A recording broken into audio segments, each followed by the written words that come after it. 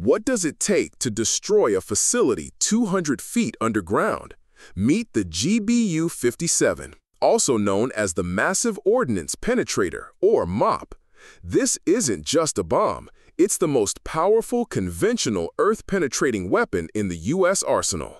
Weighing a staggering 30,000 pounds, roughly the size of a city bus, the GBU-57 packs over 5,300 pounds of high explosives.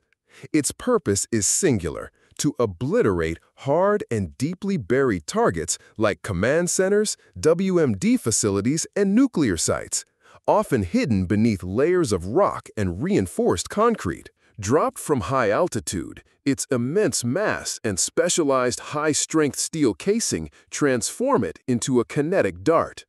It can punch through an estimated 200 feet of reinforced concrete or 130 feet of solid rock. A sophisticated smart fuse then allows it to detonate precisely after reaching a specific depth or detecting a void, ensuring maximum destructive power where it counts. Only the stealthy B-2 Spirit bomber can carry and deploy this behemoth, delivering two GBU-57s per mission, crucial for reaching the most heavily defended targets. It's a strategic asset designed to counter nations like Iran and North Korea, sending a clear message, there's no place to hide. And no, it's not the MOAB. While the MOAB is designed for massive surface airbursts, the GBU-57 is a surgical penetrator, concentrating its energy deep underground.